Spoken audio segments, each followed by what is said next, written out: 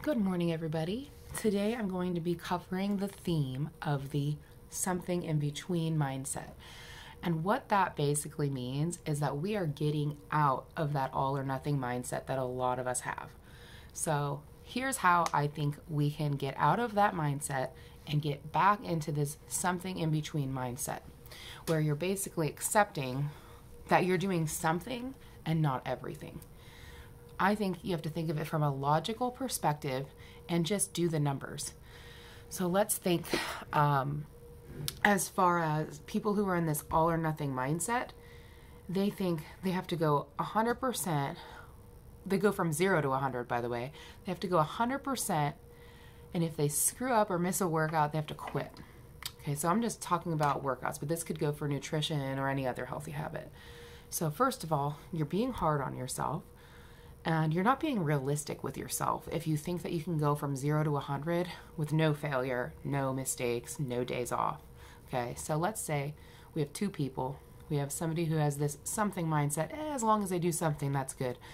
Um, or the person with the all or nothing mindset that's like, I have to go five days a week, an hour a day.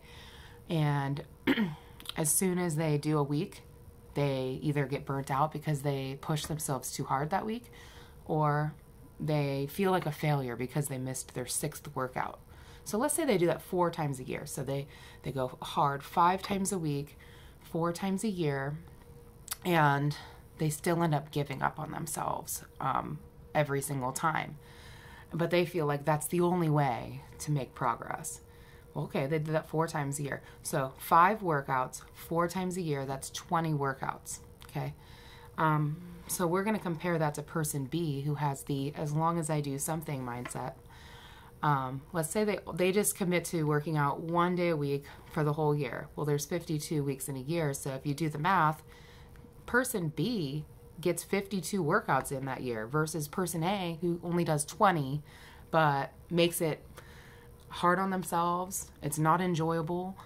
They're pushing themselves too hard and they're in this I need to be perfect mindset. Well, I'm going with person B. I don't know about you, but I think that if you go slow and steady, you do win the race. And if you put your mind to just making a habit of something, whether it's super easy or just something you do once a week, I think you're going to be more successful with that. And even if you start out with once a week, if you build that habit over the course of, you know, a month or a few months, then you might have a realistic mindset of, you know what, I can fit in this second day a week and I can start doing twice a week. And if you miss one, you can make it up because you don't have only five days a week that you're free to do this. Like, if you have the five days a week mindset, like, where are you going to squeeze in that missed workout? Now, I personally do five days a week, but I, I'm a personal trainer, so of course I make it work. Um, but I also, if I miss a day, I just make it up on the weekend. I don't just give up on myself. And if I if I don't make it up and I do four days a week, no big deal for me, right? Because I know I'll just pick it up next week. But not everybody has that mindset or that discipline. So I hope you learned something from this message. Just stop like putting yourself in this position where you're not being nice to yourself. So in order to be nice to yourself, you have to set healthy, realistic goals for yourself.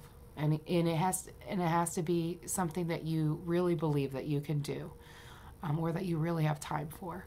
So anyway, I hope that you learned something really, really useful from this. Always think logically if you can, because sometimes our minds don't think logically. So we, if we're going based on emotion, that's not always the best way. So have a great week.